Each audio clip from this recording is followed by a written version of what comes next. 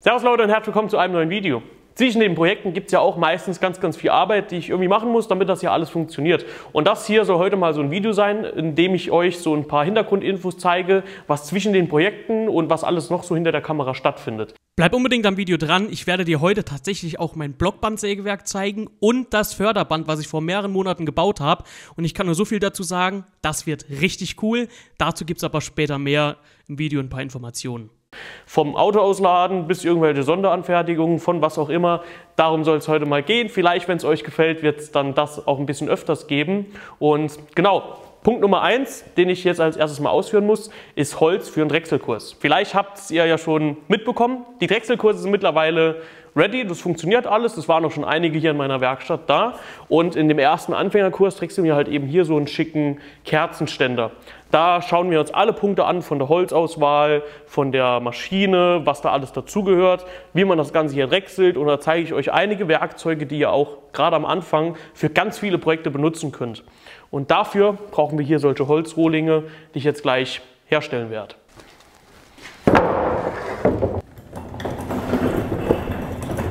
Ich habe keine richtigen Rohlinge mehr für den Drechselkurs und weil das mit am wichtigsten ist, damit jeder ein bisschen Holz hat zum Drechseln, werde ich jetzt aus hier diesen schönen Bohlen, hinten habe ich noch ein bisschen Eichenholz, das hier ist Kirschholz, Walnuss, ein paar Rohlinge herstellen, damit jeder Kursteilnehmer auch ein schönes Stück Holz hat, was er benutzen kann zum Drechseln und später einfach schön aussieht. Damit geht es als erstes jetzt los.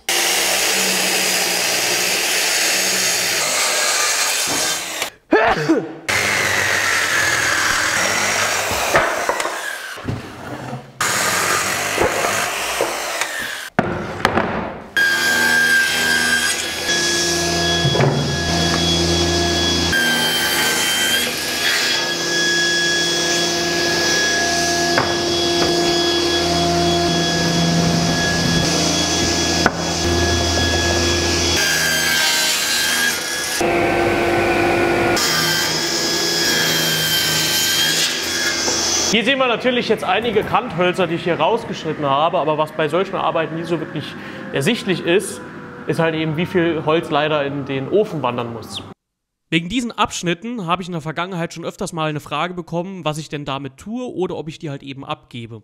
Jetzt habe ich parallel dazu noch den Hinweis bekommen von Kursteilnehmern, dass es cool wäre, wenn man Drechselhölzer bei mir einkaufen könnte, dass ich das halt eben jetzt so ein bisschen kombiniert habe. Ich habe jetzt auf kontoholz.de, meiner Webseite, eine neue Kategorie Hölzer erstellt und da findest du halt eben jetzt von Querholzrohling bis zu Kanteln auch diese B-Warenhölzer, die ich gerade hier im Prinzip zugeschnitten habe oder auch tatsächlich die Wald Waldkanten, wenn man halt eben das für seine Projekte braucht. Diese B-Warenhölzer wären im Prinzip okay, um Schalen oder ähnliches zu drechseln, aber teilweise sind hier manche Fehlerstellen halt eben drin, weswegen ich die dann trotzdem nochmal ausgesondert habe. Aber wenn man zum Beispiel einen Messergriff baut, dann wäre das hier wirklich eine richtig feine Sache. Das hier ist direkt ein gutes Beispiel.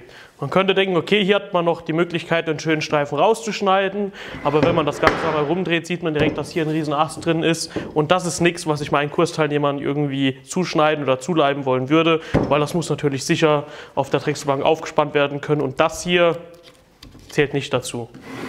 Hier haben wir noch ein schönes Stück, sieht auch eigentlich ganz gut aus, aber wenn man leider mal in die Stirnholzseite schaut, sieht man auch hier einen riesigen Riss. Das heißt, das hier kommt alles in die Brennholztonne.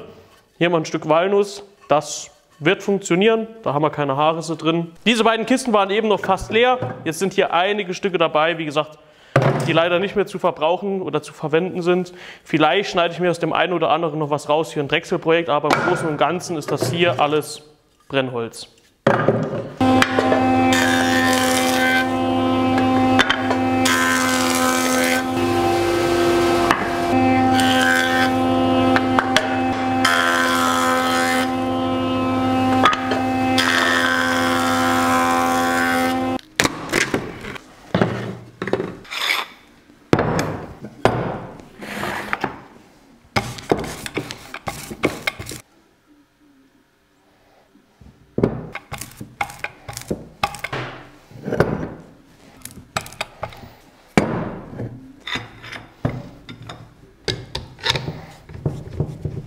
könnte man mal wieder sauber machen. Die Rohlinge sind jetzt schon mal zugeschnitten und verleimt. Die können jetzt erstmal ein bisschen trocknen. In der Zwischenzeit werde ich eine Bestellung fertig machen.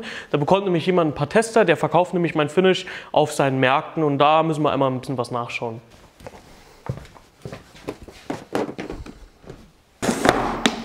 Da sind hier ein paar Tester. Da sind die Dosen nicht mehr so viel, aber er wollte sich die einfach nur mal anschauen. Und da habe ich das mit dem eben noch einmal besprochen. Das heißt, da werde ich mal die schönen Dosen raussuchen und die bekommt er dann zugeschickt.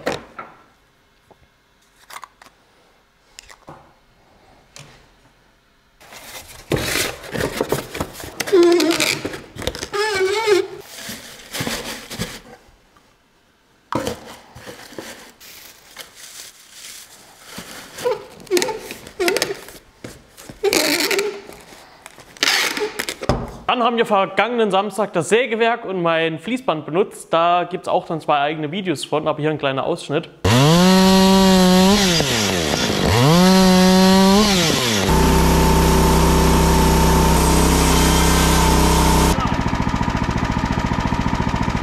Da habe ich noch mein ganzes Zeug im Auto. Das werden wir jetzt einmal ausladen, weil zu viel ist, werden wir einfach eine Palette nehmen. Da müssen wir nicht so oft gehen.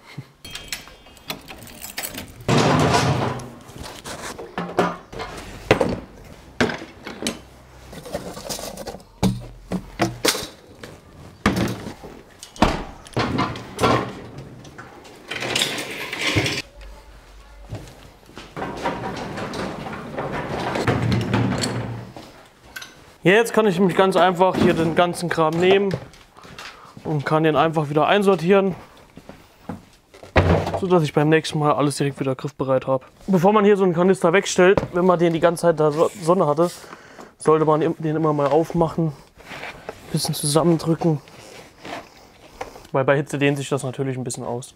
Das ist übrigens so meine Kiste an Werkzeug für die Motorsäge. Das ist jetzt nicht mehr richtig angepasst. Da sind noch ein paar Dinge drin, die einfach so drin rumliegen, weil wir es jetzt am Samstag gebraucht haben. Aber was habe ich so dabei, wenn ich mit der Kettensäge oder mit der Motorsäge oder halt eben mit dem Sägewerk arbeite? Hier ein Becher für Ankorsil. Das Ankorsil steht schon drin. Das hier sind die Stützen, die muss ich nochmal anpassen von meinem Sägewerk. Die muss ich ein bisschen einkürzen. Diese Handschuhe hier sind extra dafür gedacht, dass wenn ich ein Band auswickel, weil wenn das mal gegen die Hände fliegt, dann sind so richtig feste Handschuhe wirklich praktisch. Ein paar Schraubzwingen sind immer ganz praktisch. Ein Pinsel für das Ankorstil.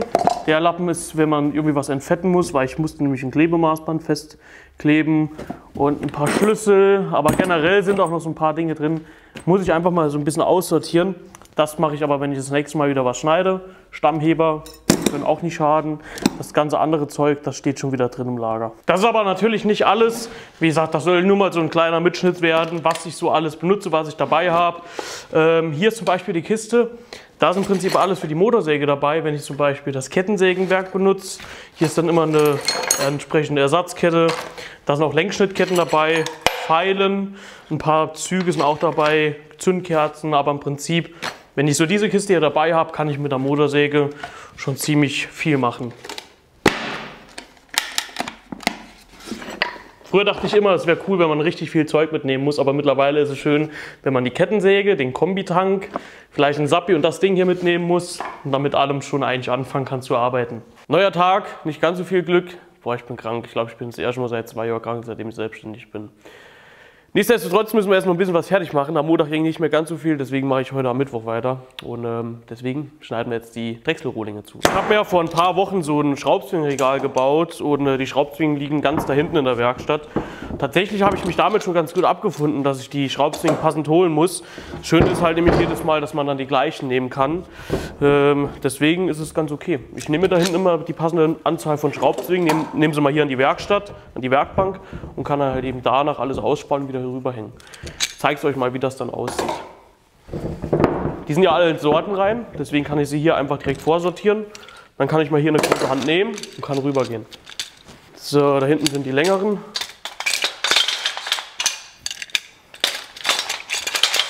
Ich habe damals bei dem Bau, glaube ich, mich so ein bisschen unterschätzt, wie viele Schraubzwingen das sind.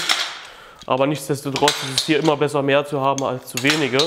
Gerade hier oben diese Reihe an Schraubzwingen, das ist eigentlich so die geilste Variante. Denn gerade hier so diese kleinen, damit kann man diese ganzen handlichen Teile kann man einfach zusammenzwingen. Die sind nicht so schwer.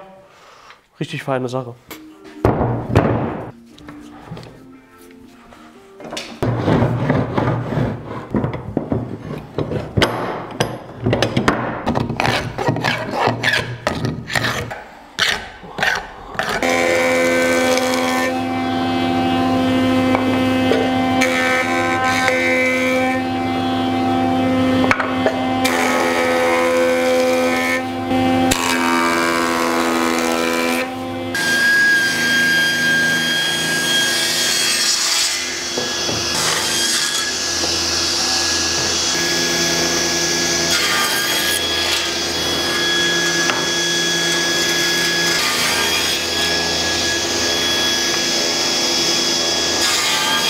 Die Drechselrohlinge sind fertig und bitte nicht wundern, warum manche ein bisschen kürzer sind. Ich habe so eine Minimallänge, das sind 16 cm, was die halt eben lang sein müssen. Der hat jetzt nur 14, das bedeutet, ich benutze den zum Drechseln und alles, was länger ist, können dann halt eben die Kursteilnehmer benutzen. Ich brauche ja auch immer ein Stück zum Demonstrieren. Ich mache die extra ein bisschen länger, damit die mehr Abstand zum Spannfutter haben. Das ist der einfache Grund. Da muss ich es auch nicht wegspeisen, das Holz, weil ich kann es ja trotzdem dann als Anleitung vor Ort dann benutzen. Hier mal so eine kleine Sache. Ihr habt vielleicht im Schnitt gerade gesehen, dass hier manche Abschnitte sich zwischen dem Sägeblatt und der Tischkreissäge verkeilt haben. Das ist gar nicht so ein großer Grund zur Beunruhigung, würde ich das jetzt mal einschätzen, weil wenn ihr die Tischkreissäge schnell ausmacht und sich das hier drin verkeilt habt, dann könnt ihr einfach von Hand das Sägeblatt nach hinten drehen und dann könnt ihr das direkt schon wieder lösen. Es gibt ja hier diese Zero Clearance Insert Teile. Das ist hier bei meiner Tischkreissäge nicht um zu lösen, weil neben dem Sägeblatt zu wenig Platz ist. Ich zeige es euch mal. Hier kann man die Einlegeplatte halt eben rausnehmen. Wenn das Sägeblatt ganz draußen ist, dann geht das nicht ganz so einfach. Das hier ist die Einlegeplatte und ihr seht auch, dass die in den vergangenen Jahrzehnten schon einige Marken abbekommen hat. Das hier ist von mir, das war so ein Testvideo, wo ich euch mal gezeigt habe, wie gefährlich so eine Tischkreissäge werden kann. Und ähm, rechts wäre viel zu wenig Platz für so eine Einlegeplatte. Deswegen, also ich löse dann das dann einfach so, dass ich die Maschine ausschalte und das Stück Holz rausnehme, bei ausgeschaltetem Zustand natürlich. Würde mich mal interessieren, wie ihr damit umgeht. Das ist so einer der wesentlichen Sicherheitsvorteile, wie ich es halt eben sehe, an hier diesem Schiebeschlitten. Denn der verhindert halt eben, dass ich mich vor die Tischkreissäge stelle. Ich kann mich höchstens wirklich hier dran lehnen, den Anschlag noch bedienen, aber wenn hier dann wirklich mal ein Stück Holz wegfliegt, dann ist das erstens mal auf der rechten Seite. Ich stehe ein gutes Stück weiter links und dazu kommt dann halt auch eben immer noch die Spanhaube. Und ich habe früher die Spanhaube hier dran nicht benutzt, Zugegebenermaßen, viele haben ja zum Beispiel diese Bosch GTS Tischkreissäge und da ist die Spanhaube halt eben hinten an dem Spaltkeil befestigt. Vielleicht wäre es für euch auch eine Überlegung wert, dass ihr euch so eine Spanhaube baut. Da gibt es auch ein Video, das war eins von den ersten auf meinem Kanal. Richtig, richtig praktisch, weil ihr könnt halt auch eben verdeckte Schnitten machen und müsst einfach nur die Spanhaube nach oben bewegen. Und ihr habt ein richtig gutes Sicherheitsfeature, was ihr halt auch wirklich immer benutzen könnt, weil ihr müsst nicht hinten an dem Spaltkeil die Spanhaube halt eben runternehmen. Ich habe mal in der Schreinerei gearbeitet und da habe ich auch einmal gesehen, wie so ein Streifen volle Möhre nach hinten weggeflogen ist. Der Schreiner ist ganz cool geblieben, weil er wusste halt auch auf jeden Fall, dass er auf der linken Seite steht und es kann halt schon mal passieren. Also solange man weiß, dass es passieren kann und kann halt eben sich so stellen, dass nie was passieren kann, zum Beispiel hier auf der linken Seite, sehe ich das als gar nicht so große Gefahr. Also, baut euch vielleicht so eine Spanhaube nach, richtig cool, ihr könnt besser absaugen und ihr habt auf jeden Fall viel mehr Flexibilität, weil ihr halt eben das Ganze hochstellen könnt. Und wenn es dann irgendwie mal verkeilt oder oder oder, eben hat sich auch einmal ein Stück gefangen und das wurde unten reingezogen, dann ist halt einfach viel, viel mehr Material vor euch und vor allen Dingen über dem Sägeblatt, was euch halt eben schützt. Coole Sache, Spanhaube. Habe ich früher anders drüber gedacht, aber das ist schon einige Jahre her. Nächstes Thema Absauganlage. Ihr seht ja meine Absauganlage, da gab es ja auch ein eigenes Video drüber. Bin ich super, super zufrieden mit. Ich habe schon sehr viel mitgearbeitet und die Spendetüten sind immer noch relativ leer. Das nächste Sinnvolle oder das nächste Must-Have bei einer Absauganlage ist natürlich die Verrohrung. Ich habe so eine Teileliste, die werde ich jetzt nochmal überprüfen, was Abzweige, Bögen, Schläuche, Schlauchanschlüsse, Schlüsse, Maschinenanschlüsse angeht. Und da werde ich mir jetzt einmal noch mal einen Plan malen und überprüfen, ob die Teile, die auf dem Angebot sind, ob die halt eben passen. Wie sieht es denn derzeit an der Absauganlage aus? Hier haben wir diese wunderschöne Holzprofi-Absauganlage. Die hat einen 150er Anschluss. Das muss ich auf 140 reduzieren, weil mein ganzes System auf 140 aufgebaut sein wird. Und der Plan ist halt eben, dass hier ein Stück an die Wand geht mit einem Abzweig, einmal zur dicken Hobelmaschine. Dann hat die wirklich am meisten Saugleistung, direkt mit 140 nur diese kurze Strecke hier direkt auf die Absauganlage. Und dann will ich hier so ein Stückchen mit einem Abzweig hoch, mit 90, ja, mit 90 Grad dann rüber, nochmal 90 Grad hier rüber. Und dann will ich hier einmal einen Anschluss, noch einen Anschluss, Anschluss, einen Abzweig, damit ich hier theoretisch eine Bandsäge anklemmen könnte oder halt eben eine andere Maschine. Dann geht die Absaugleitung hier hoch, hier so rüber, nochmal 90 Grad, beziehungsweise mit dem Abzweig, weil die, der Langbandschleifer wird später angeklemmt. Und dann äh, muss hier auch ein Rohr runterkommen für die Spanhaube, für die Tischkreissäge, für die Hobelmaschine bzw. Abrichte. Da wird sehr wahrscheinlich eine ganz alte große Abrichte dann hinkommen und da werde ich mir jetzt mal einen kleinen Plan malen. Ich bin vorher einfach durchgegangen, habe mir das Ganze angeschaut und habe dann einfach notiert, was ich brauche. Aber das ist ein bisschen schwierig, um es dann nochmal nachzuvollziehen. Deswegen mache ich mir jetzt hier mal einen Plan von, von der Seite, von der Seite, bis zur Decke dann und dann noch im Prinzip nochmal eine Draufsicht auf die Decke. Denn äh, je nachdem, wo ihr eure Absaugrohre bestellt, also die Metallabsaugrohre, dann werden die nämlich individuell halt eben immer hergestellt und deswegen könnt ihr die halt eben anschließend, soweit ich weiß, nicht umtauschen. Alle Teile werden individuell auf die Bestellung halt eben dann hergestellt, zumindest mal da, wo ich die Absaugrohre bestelle. Und deswegen male ich mir das Ganze jetzt nochmal auf und überprüfe das mit der Stückliste, die ich halt eben in dem Angebot hier schon mal habe. Mal jetzt so ganz simpel erklärt. Ich komme von da hinten mit 90 Grad, dann habe ich hier mal einen 120er Anschluss, einen 120er Anschluss, da werde ich bald vielleicht noch einen großen Tellerschleifer bauen und der Kantenschleifer hat einen 100er Anschluss. Da muss ich noch einmal hoch und ich will hinten noch einen 120er Anschluss haben für zum Beispiel die Bandsäge, wenn da mal eine größere Bandsäge kommt. Das könnte zum Beispiel so aussehen, Abzweig 140, 140, 120, 45 Grad Stück. Da brauchen wir hier einen Absperrschieber und einen Schlauchanschluss. Nochmal das gleiche, dann der Abzweig mit 140 hoch mit einem 45 Grad Stück, damit man halt eben an die große Leitung kommt und dann am Schluss nochmal 140 auf reduziert 120 und dann hier 100 für den Kantenschleifer, ein 45 Grad Stück 100 mm und dann brauchen wir auch hier nochmal einen Schlauchanschluss. So könnte das vielleicht aussehen. Hier ist dann der 90 Grad Bogen, der an die Decke geht. Ich glaube, das müsste jetzt eigentlich passen, sodass ich jetzt alle Maschinen hier wirklich neu an ein Metallrohrsystem anklemmen kann. Denn es gibt da eigentlich zwei größere Veränderungen. Zum einen ist halt eben alles aus Metall, das bedeutet, man kann sie an allen Maschinen direkt gut erden, das ist eine feine Sache. Und eine zweite Änderung, die ihr auch mit einplanen solltet, sind nämlich Maschinenanschlüsse. Bei hier dem System ist mein Maschinenanschluss nämlich im Prinzip so gelöst. Ich zeige es euch mal. Hier ist relativ viel simpel. Wir haben hier einen Schlauch, wir haben eine Rohrleitung, wir haben einen Sperrschieber. Bei Metall ist das ein bisschen anders. Wir haben da erstmal einen Maschinenanschluss. Der ist nämlich nicht so gelöst wie hier. Da wird der Schlauch nämlich über das Rohr geschoben und dann kann man hier mit einer Sickeschelle das hier schon mal zumachen.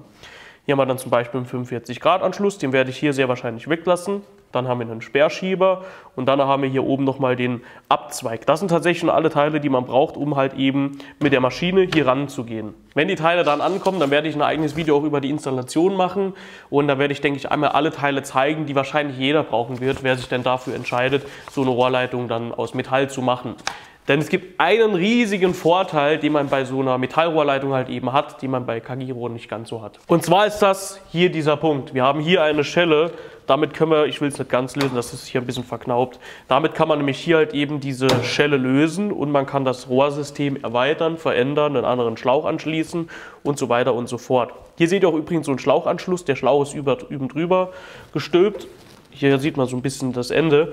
Und das bedeutet halt eben, man kann das Rohrsystem minimiert erstmal bauen und wenn man merkt, man braucht noch einen Anschluss, dann ist es hier einfacher, das Ganze wieder dezumontieren. Da oben kann man es ganz gut erkennen. Äh, ein KG-Rohr, das lädt sich ja so ein bisschen auf. Meistens nicht so schlimm, dass es irgendwie knallen tut, aber das wird immer dreckig, weil der Staub dann eben drauf bleibt. Und außerdem ist da die Befestigung von den einzelnen Rohren nicht so gut. Bei diesen Sickeschellen ist es dann halt eben so gelöst, dass die wirklich richtig miteinander verbunden sind und auch nicht auseinanderrutschen können. Denn hier dieses Rohr ist schon einige Male von meiner Provisor, Provis, Provi, provisorischen Absaugrohrleitung ist schon ein paar Mal auseinandergerutscht. So, ich nehme das hier schon zum dritten Mal auf, weil ich kann, ich finde keine Worte mehr zu dem, was ich sagen will. Ähm, langsam wird es ruhiger hier in der Werkstatt. Der Sommer kommt. Gerade im Sommer findet hier in der Werkstatt nicht ganz so viel statt, außer an dem jetzt die Drechselkurse, weil halt eben mehr im Sommer halt Freizeitaktivitäten angesagt sind. Nicht immer als von mir, sondern von euch und im Allgemeinen. Das sieht man immer ganz, ganz extrem, sei es jetzt irgendwie bei Umsatzzahlen oder bei den Aufrufen. Wenn mal der erste schöne Tag ist nach einem verregneten Wochenende, dann ist der Montag, Dienstag meistens gar nichts mehr los, was zum Internet angeht. Und ähm, genau, deswegen musste ich das dieses Jahr oder will ich das dieses Jahr auch so ein bisschen anpassen, dass ich dann auch mit mehr Energie im Winter äh, nochmal durchstarten kann oder im Spätfrühling. Spätjahr, ihr wisst, was ich meine. Das sind so ein paar Arbeiten, die sind jetzt mal angefallen. Schreibt mir gerne in die Kommentare, wie es euch gefallen hat und bis zum nächsten Video. Nach diesen zwei Videos wünsche ich euch einen ganz tollen Tag. Ciao.